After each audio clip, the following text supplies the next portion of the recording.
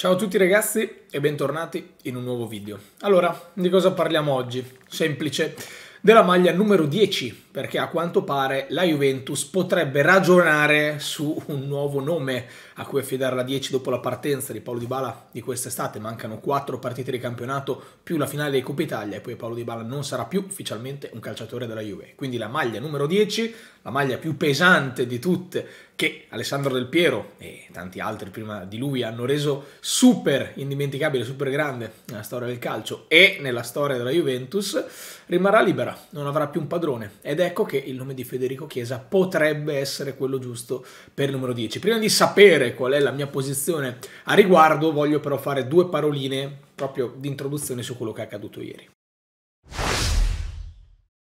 Vi ho portato anche un video di 3 minuti ieri sera, non monetizzato, perché non mi piace lucrare su cronaca nera o comunque su situazioni scomode o molto scomode, come quella accaduta a Mino Raiola. Ci tengo solo a sottolineare una cosa per concludere il tutto, perché qualcuno ha continuato a scrivermi dicendo che io sono un giornalista o comunque io mi metto allo stesso livello dei giornalisti. Questo è un grave errore ragazzi, perché io l'ho ribadito più e più volte, a più riprese. Non sono un giornalista, non faccio informazione, io semplicemente le prendo e ve le dico. Quelle che elaborano persone pagate per fare questo mestiere, che verificano persone pagate per fare questo mestiere e poi io ve le ributto in pasto, ve le riporto, ecco sì, ve le riporto, ma non le creo. Io non ho notizie, non ho fonti, non posso fare verifiche. E poi do la mia interpretazione. Vi lascio la mia opinione, stimolo il pensiero, il ragionamento, il dialogo, la discussione e tutti insieme cerchiamo di creare qualcosa in cui scambiarci idee. Finisco lì. Non sono giornalista, l'ho già detto tante volte. Tutti i video del calciomercato con i giornalisti presenti, ci tengo sempre a ribadirlo perché conto siete voi che guardate tutti i video e sapete la mia posizione, un conto sono persone che magari non mi conoscono potrebbero avere anche il dubbio, no? Dove vado sul canale di questo qua, questo qui, come si considera, come si vende, come si descrive? Io non sono giornalista. Sto pensando di prendere il patente da giornalista pubblicista? Sì. In questi ultimi mesi poi è una trattativa che va avanti a ritmi serrati e sto cercando di capire la posizione, sto cercando di incastrare anche questa cosa qui. Ma oggi non sono un giornalista. Questo voglio che entri ben chiaro. Poi se voi mi vedete come giornalista perché magari tante notizie le ascoltate da me, questo è un altro discorso, ma io non lo sono se sono la vostra fonte di informazione è un conto. Non sono un giornalista. Io creo contenuti. Sono un content creator.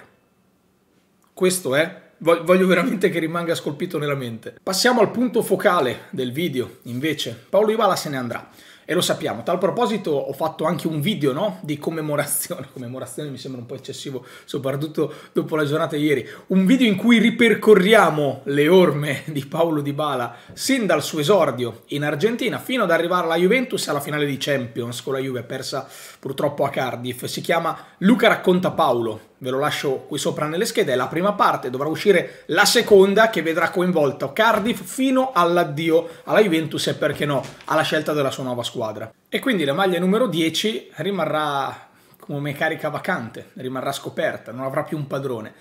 Io non so se questo video interessa a tanti, io sono un amante dei numeri, mi piace un sacco, ma perché intanto sono un collezionista di maglie della Juventus e quindi sto già ragionando sulla nuova maglia da andare a prendere, no?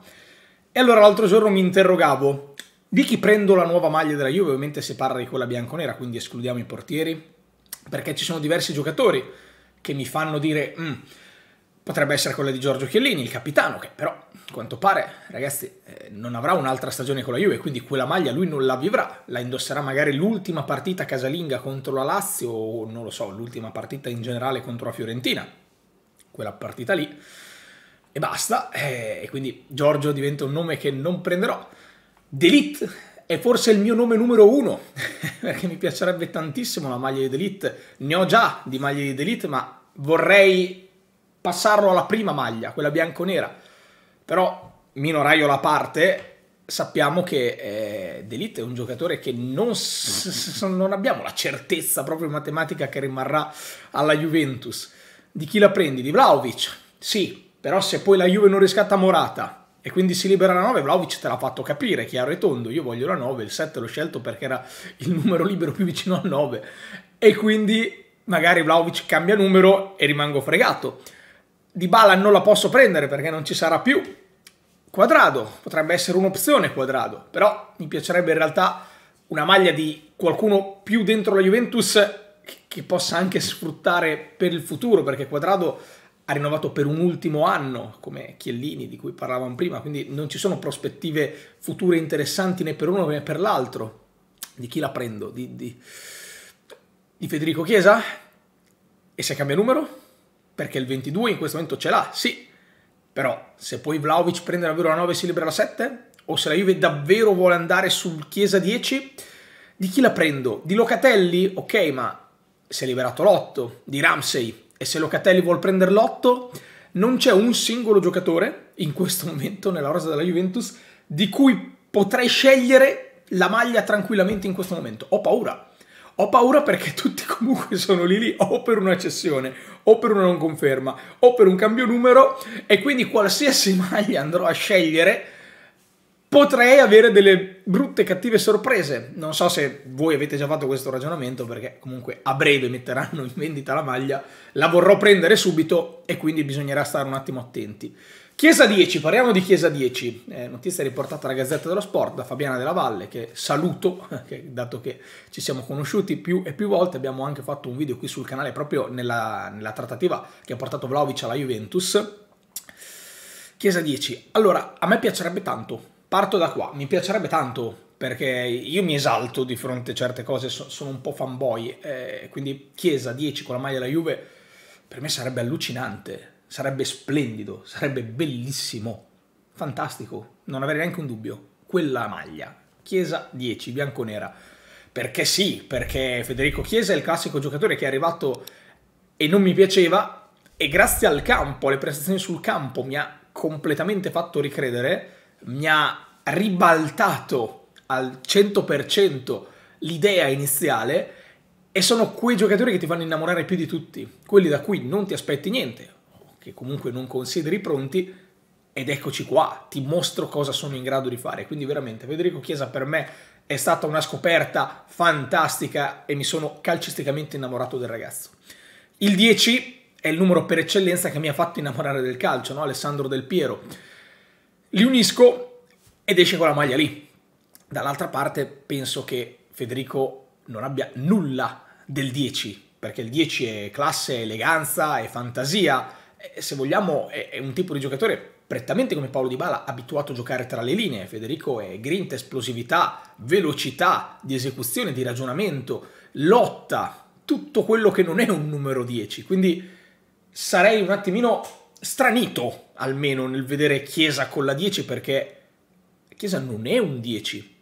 Dall'altra parte potrebbe essere semplicemente una mossa marketing della Juventus, intanto per blindare il giocatore, anche se qua abbiamo un esempio molto fresco che è quello di Paul Pogba, che aveva sì il 10 sulle spalle per una stagione e poi è stato venduto al Manchester United. Quindi abbiamo eh, munto la vacca grassa per quell'anno con le maglie di Pogba 10 anche qua apro una parentesi, come vi dicevo prima, sono un fanboy, ce l'ho, come ho una maglia di Tevez con la 10, come ne ho tantissime di Dybala con la 10, perché il 10 è il numero, è inutile ragazzi, per chi come me è cresciuto calcisticamente nell'era in cui Del Piero, Totti erano quei giocatori lì di Natale, mi, mi viene da metterci anche di Natale, o nelle epoche precedenti, con i vari Baggio, Maradona, Platini, numero 10, numero 10 c'è poco da fare, o chi è cresciuto nell'epoca Messi, anche se poi c'era magari la contrapposizione del 7 di Ronaldo, ma il 10 è magico, 10 è un numero magico, e quindi sarei contentissimo di vederlo sulle spalle di Federico Chiesa, sarei il primo ad acquistare la sua maglia, capirei il ragionamento marketing alla base del tutto, dall'altra parte però vi dico, Federico Chiesa non è un numero 10, N- non lo è, Federico Chiesa me lo vedrei benissimo col numero 7, per poi fare anche magari il parallelismo con Ronaldo, se proprio vogliamo. Ma Chiesa non è un 10. Poi, che sarebbe fantastica la sua maglia, questo è un altro discorso. Ma questo è un problema grave, importante. Io lo so che di là ci saranno eh, dei ragazzi che, o delle ragazze che magari mi dicono: Sì, ma Luca, ma che video è? Ma chi se ne frega? No, per me è gravissima questa situazione perché davvero non mi sono mai ritrovato nella condizione a fine anno, a fine stagione, di non sapere che maglia prendere, di chi scegliere la maglia, la prima maglia del prossimo anno, perché non ho, non ho certezze su nessun calciatore della rosa, se non quadrado. L'unico eventualmente potrebbe essere quadrado, ma mi piacerebbe o quella di Delete o quella di Chiesa, proprio perché, lo ribadisco, ormai sono un fanboy e credo che siano comunque i giocatori, o Vlaovic stesso, che siano i giocatori sul quale costruire il futuro della Juventus, penso che lo pensino anche internamente alla società. E quindi questo vi chiedo intanto, Chiesa 10, pro o contro? Vi piacerebbe o no? Comprereste la maglia? Terza opzione. Se siete malati come me e a fine anno dovete prendere la maglia della Juve subito, di chi la prendete? Cioè voi ci avete già pensato a questa cosa o vi ho aperto gli occhi soltanto io con questo video?